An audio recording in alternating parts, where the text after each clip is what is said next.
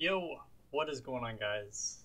Boy coming back at you with a video. It's been a while since I've done one of these, but I thought I'd throw my hat into the ring on an issue that's been going on recently, and there's been a lot of outcry recently over uh, basically the Warzone MMR system and how matching works in Halo now, especially the Halo, the uh, Warzone community. Excuse me. Um, I haven't played Warzone. I actually, never mind. I did play. I played in a 12 man two days ago. Uh, Smurf didn't find it really fun. Not really going to talk about that too much because it has not much to do with this video. But I thought I'd give an outsider's perspective because I do have quite a bit of knowledge about how the Warzone system works and what could possibly work and what doesn't, and the reason why these things don't work, uh, based on my experience in Warzone. Again, I have not played the game in a while, but I have. I'm a 152, and I grinded the shit out of Warzone. I played every single damn thing in the game. I have a pretty in-depth knowledge of what's going on, and I thought I'd give a little bit of an outsider's perspective from someone who's retired from Warzone until Halo, Halo 6. So uh, let's get right into it. First of all, I am going to link uh, Mint Blitz's video as he discusses the uh, MMR system a little bit and how it uh, relates to matching, and basically not as many of the specifics of the system, but actually how it affects uh, players in matching. Basically, how Warzone is set up right now, they have 12 man back, but you basically have MMR in Warzone now, and it's basically ranked. Warzone is basically has a hidden rank and it makes it so players like if players like myself were to try to search on my our main accounts and we were like Precelence's squad is usually fully stacked and they can't find matches in a 12 man that's because they're in a 12 man and it's a stacked squad. They each have such high KDs such high win rates. It's absolutely insane and it's really hard to find a match for them because nobody really compares to the amount of grinding they've done. Same if I were to get a stack squad, it's just it's terrible. Um, how inflated the MMR system is. Basically, the system uh, makes it so it's harder for really high ranked players to match. However, this does affect, it seems to affect a minority of the community, which I also do understand. The community that still plays Halo 5. We'll get to that in a minute but uh, it, it affects the minority of the community directly. Uh, meaning that a minority of the community will not find matches at a decent rate because most players in the community, probably 80% of the players, have around a 50% uh, win rate or something like that. I'm just throwing a number out there. So they're able to find matches much easier and match each other much easier. They also don't typically run in 12 mans. A lot of people nowadays will run in six mans, and 12 man. Um, basically, I have been following the transition from six man to 12 man, from six man to 12 man. 343 Industries has done everything in the book to try to fix Warzone. They've been experimenting it. It's been a complete Frankenstein of a project. They've just tried to piece things together. It's it's really quite hilarious, and I hate to laugh at what's going on in the Halo community, but as an outsider, it's hilarious to see where things are going right now. It's like a shit show at 343 Industries, especially in Warzone. I almost feel like they've given up on it, in all honesty. Because they're not really doing anything with the playlist, they're just adjusting fire team sizes and now MMR ranks, which is really weird. It makes me think that they don't really care about the playlist anymore, that's a failed project, and they're just gonna worry about Halo 6 which I can totally understand. Um, I okay, so where should I go next? I should probably just get the unpopular opinion, and I am expecting tantrums in chat from people who abs from Warzone sweats right now will probably chastise me for saying this. But I do not believe 12 man should be in uh, Halo 5 right now and this is coming from a huge supporter. I'm a huge supporter of 12 man Warzone. At least it should not be integrated with the normal playlist. It should be it should not be in Halo 5 at all, or it would be interesting to see a separate playlist where people could queue. Where 12 mans could queue and match each other intentionally, since that's really the only purpose of 12 mans anymore. Um, and here's why I think that. When Halo 5 released, I ran in 12 man squads all the time. That's all I did. It was the easiest way to grind XP. You would get blowout matches, and you could. I was an XP grinder. I didn't do it for the kills. I didn't really do it for anything else. I like to max rank in a game. I like to level up as fast as I can. That's why I did it. And it was also fun pub stomping on kids. Um, and uh, admittedly, I'm sorry. I'm sorry if I completely farmed you back in the OG days. But anyways, back when Halo 5 came out, and for probably the first year, um, the population did nothing but really grow. We give Halo a lot of shit because it hasn't done as well as like Halo 3 and maybe sometimes Halo 4, but arguably that's up for strong debate though. But I do believe that Halo was healthier than it is now, and I believe it had a bigger, uh, especially a larger Warzone base. More people played Warzone, and what that meant is there were a lot of 12 man squads running, but you would only match a 12 man every five or six matches if you were searching in a small group, making one blowout match out of like six, which was really that's like you get that in Call of Duty. You get like a team of four. I would solo queue when I played Modern Warfare 2 way back in the day. I would solo queue and I wouldn't match a team for like five matches and then a match on the sixth. And it wouldn't be that bad because it wasn't repetitious. I wasn't getting pub stomped every game. So basically, small squads aren't getting we're not getting demolished every single game way back when Halo 5 came out. Whereas now the population for Halo 5 has unfortunately shrunk a great amount. And because of that, a lot the dedicated players, which are ironically, the players who uh, ran in 12 mans stayed in Halo 5, while more of the casuals went on to other games and to diversify their gaming collection. And they don't really play Halo 5 anymore, so only the really hardcore dedicated people stayed.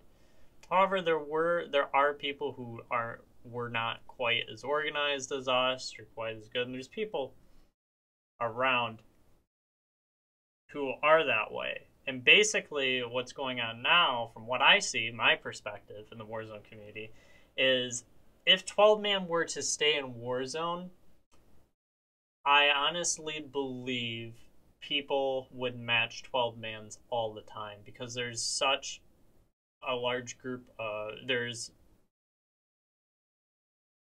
How do I put this? The population of Warzone is small enough and the amount of people who would roll in squads and team up is large enough that I honestly believe that people queuing Warzone would match 12 mans every other game. Because the population is so small and those dedicated players stayed while the casual population that helped kind of diversify the Warzone scene they left and I believe they left for a variety of reasons. The main reason they left Warzone, I strongly believe, is 343 fucked around with the formula of Warzone so much. Instead of really focusing on rebalancing and okay, here's this glitch, or why are teams able to crush these kids so easily, or looking at the REQ system, how the REQ system works, Instead, they immediately went after fire team sizes, and the first thing they did is they beta tested it in Warzone Assault, said it was temporary. They said this was a temporary change, and we tolerated that as a Warzone community. We tolerated that for quite some time. And then we really blew up once Warzone Assault became permanently six man. They announced it was permanently six man, and they were going to switch it over, uh, or add that rather over to regular Warzone. There was a mass exodus, if I could say. I quite a few of my friends, half of my friends list.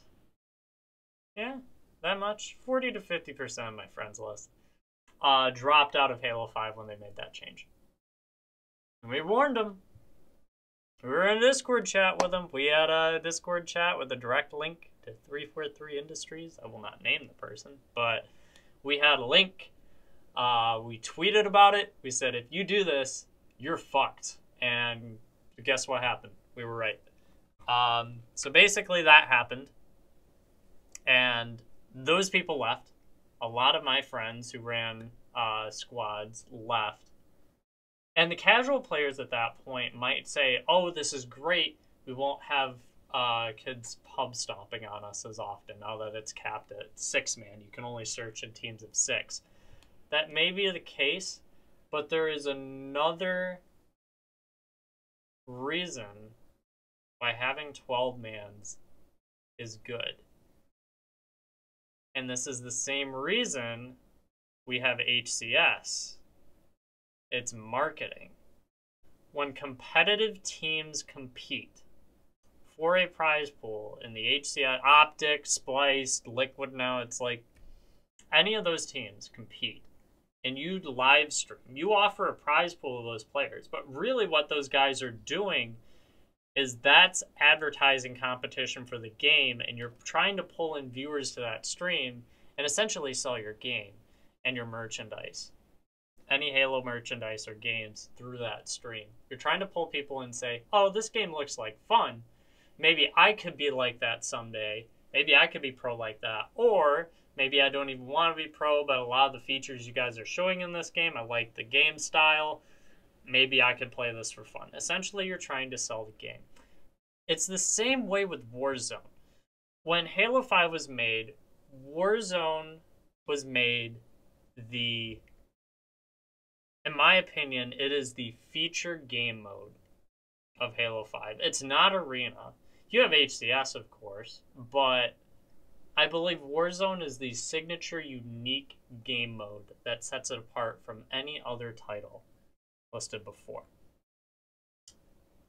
And usually when game makers do this, they try to diversify it, they try to really market it, which they did they marketed Warzone, but part of that marketing that they missed out on is marketing that 343 doesn't even have to invest in. It's one of the biggest bits of marketing you can do, and that is Twitch.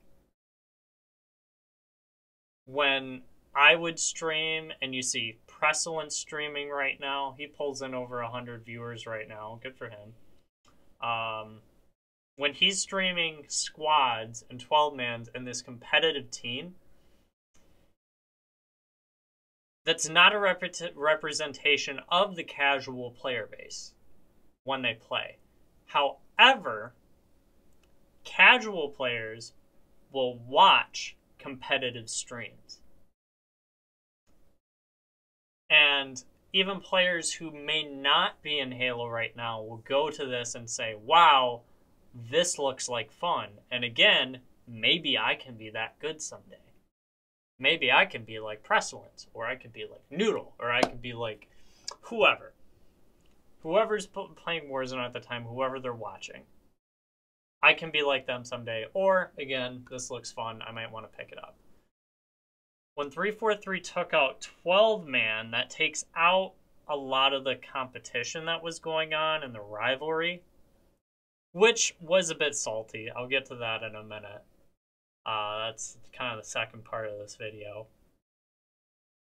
But basically, once you take that away, you take away a lot of the appeal of watching competitive gameplay since you've completely cut out the competitive part, and it's more random.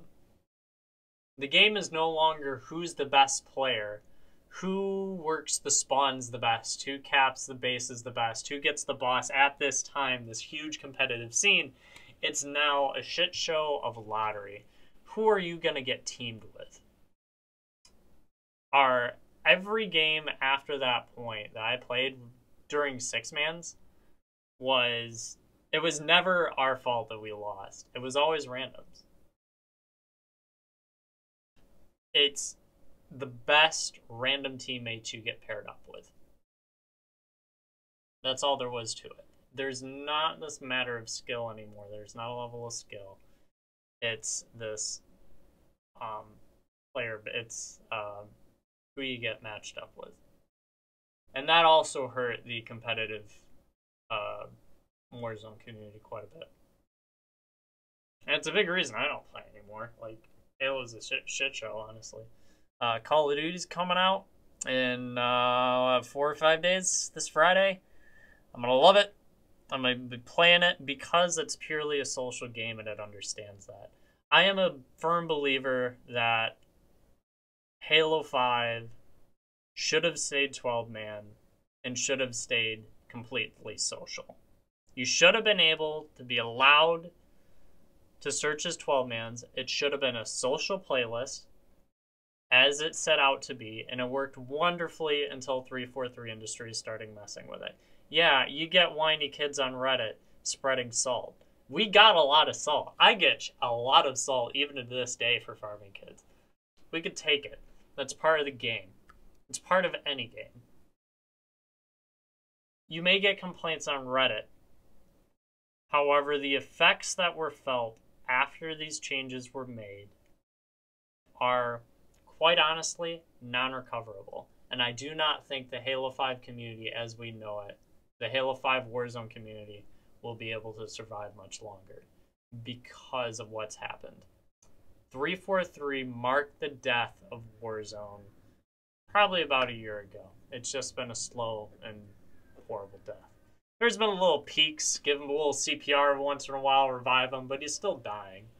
Like, Warzone's still dying. There's just nothing else to say about it. And I also think um, Warzone also isn't as popular. And this is kind of goes back to the Reddit portion, uh, because when those casual players left, okay, let's put it this way. When us six man or, or us 12 men's matched each other there was a lot of competition but also when we matched casuals we created a lot of salt from quick corn kids. A lot of salt and it was heard especially all over reddit. And we thought it was hilarious. Like i know whiskey back in the day just ate that shit up. We loved it. But basically um there was a whole bunch of salt surrounding us but there wasn't really much salt in between the teams, in between the 12 man teams, which a lot of 12 mans play now, or a good group of them that I know of. Not a lot, I shouldn't say that. Population's kind of low, but there's a good group of 12 mans that still compete. I believe the Warzone community has gotten a lot more toxic. It's just not a reason why I don't want to join. I don't want to be part of drama. I don't want to get into that again. Um, and here's why all that salt I mentioned in Reddit, a lot of those casual players left after a lot of the changes in Warzone happened. And